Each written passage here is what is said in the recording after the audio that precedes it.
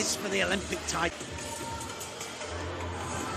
Little in the 57 kilo category. And at the bit to get hold of each other. Oh, look at that. Straight into the attack there. It's left against right. Likes to come across as directed Jimata as well. With the sleeve, and that's good to see. First minute of the round has passed. It would mean to both of these judokas.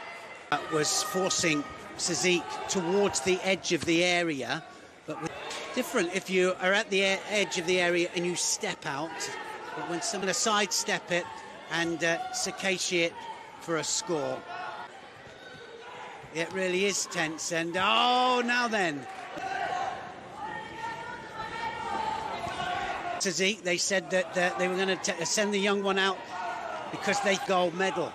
My goodness, what a chance. I'm sure for both of these women. Ooh. comes in for, well, Sotomayor uh, role and...